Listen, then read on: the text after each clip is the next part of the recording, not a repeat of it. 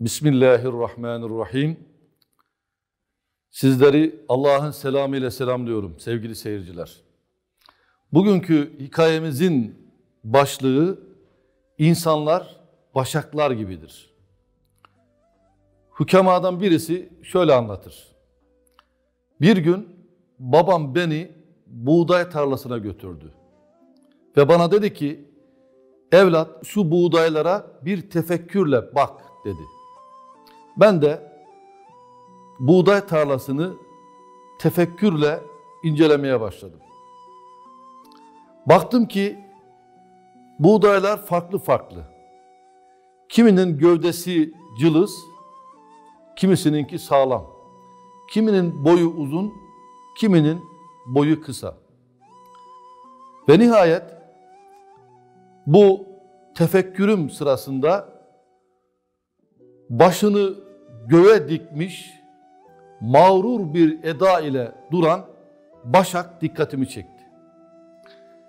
Kendi kendime dedim ki, öyle sanıyorum ki bu başağın içinde çok buğday taneleri vardır.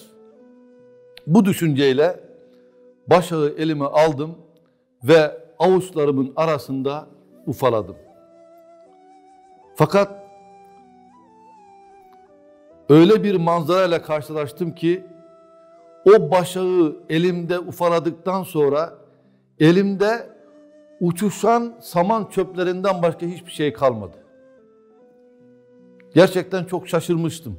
Çünkü o başağın içerisinden çok buğday tanesi çıkacağını umuyordum. Sonra tarlada gezinmeye devam ettim. Ve bir müddet sonra bazı başakların da mahcup bir eda ile başlarını öne doğru eğdiklerini gördüm. Ümitsiz bir şekilde o başağa doğru yaklaştım ve onun da içinin boş çıkacağını düşünerek elime aldım ve avuçlarımın arasında onu da ufaladım. Fakat bir anda avucumun buğday taneleriyle dolduğunu gördüm.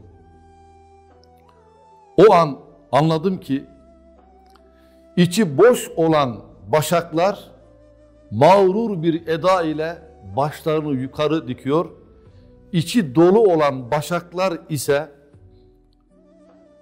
mahcup bir eda ile başlarını öne eğiyordu. O günden sonra o içi dolu olan buğday başaklarına benzemek düşüncesiyle ben de yolda yürürken hep başımı öne eğer olmaya başladım. Babam dedi ki, evladım neden başını öne eğiyorsun? Baba ben de o içi buğday dolu başak taneleri gibi olmak için başımı öne eğiyorum dedi. Babam bana evladım senin de başın ilim ve hikmetle doldu mu ki başını öne eğiyorsun? Bırak başın ilim ve hikmetle dolsun zaten ondan sonra kendiliğinden başın öne doğru eğilecektir. Evlat terazinin iki kefetine bir bakar mısın? Terazinin hafif tarafı daima yukarı çıkar.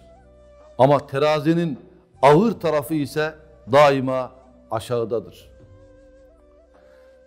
Öyleyse sevgili seyirciler, her kim kendi nefsini alçaltırsa onu yükseltmiş olur ve kim de nefsini yüceltirse onu alçaltmış olur.